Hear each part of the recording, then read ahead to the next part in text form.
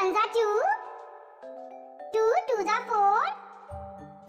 Two threes are six. Two fours are eight. Two fives are ten. Two sixes are twelve. Two sevens are fourteen. Two eights are sixteen. Two nines are eighteen. Two tens are twenty.